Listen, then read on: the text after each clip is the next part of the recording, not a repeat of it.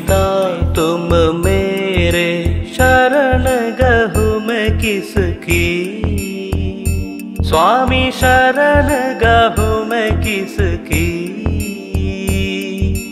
तुम बिन और न दूजा, प्रभु बिन और न दूजा।